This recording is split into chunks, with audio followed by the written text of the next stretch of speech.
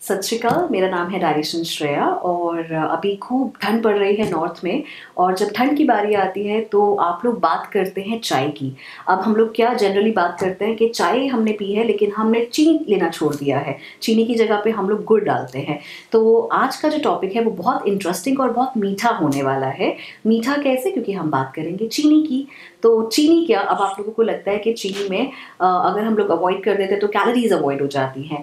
पर गुड़ में भी कैलोरीज हैं हनी में भी कैलोरीज हैं तो कैलोरीज तो सभी चीज़ों में होती है। तो बेटर क्या है? आपको मैं आज चाय के बारे में बताऊँगी।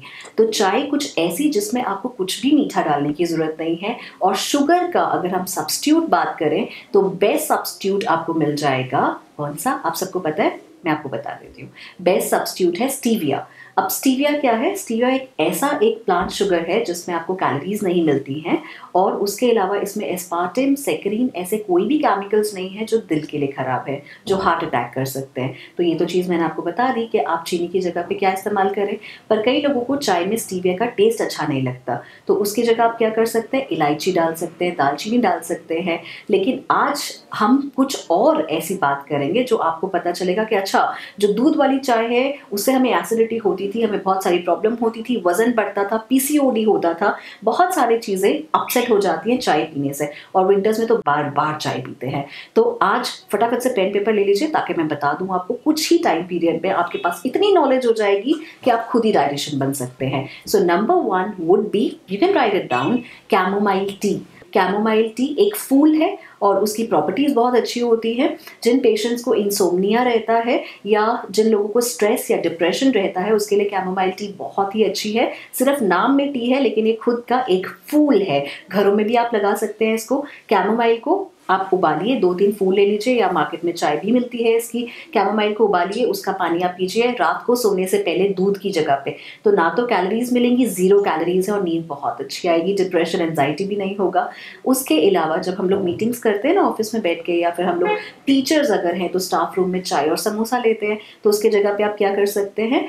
अपने ऑफ़िस में पेपरमिंट टी पी सकते हैं। पेपरमिंट टी स्पीयरमिंट से बनता है मिंट लीव से बनता है। तो क्या है? उससे अगर आपको गैस एसिडिटी होती है, वो भी नहीं होगी। तो सेकंड ऑप्शन आपके पास आ गया पेपरमिंट टी का। घर पे भी बना सकते हैं नॉर्मल पुदीने के पत्ते से।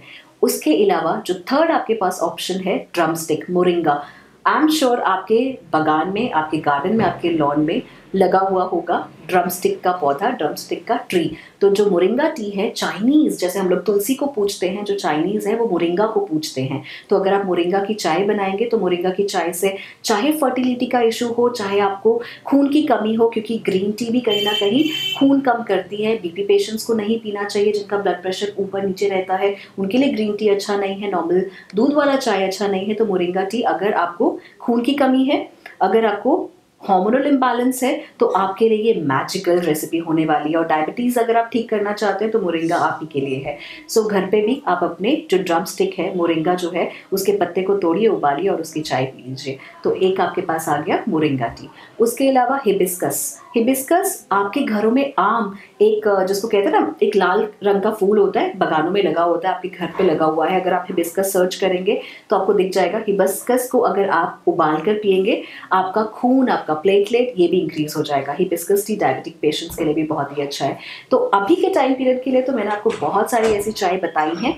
और ऐसी चाय बहुत ज़्यादा है ये टॉपिक हम लोग नेक्स्ट टाइम भी कवर अप कर सकते हैं या अगर आप चाहते हैं और कंप्लीट डिटेल के लिए तो आप हमारा यूट्यूब चैनल भी देख सकते हैं डायरेक्शन श्रेया को आप सर्च कर सकते हैं। सो so, अभी के लिए दैट वॉज़ इट चाय से थोड़ा सा दूर रहिए क्योंकि एक चाय का कप आपको 45 कैलोरीज दे सकता है खूब सारी एसिडिटी दे सकता है और आपको फैटी लीवर भी दे सकता है। तो सिर्फ़ चाय ही नहीं चाय के अलावा भी बहुत सारे ऑप्शन है गर्म करके पीजिए मज़ा लीजिए। Thank you enjoy winters bye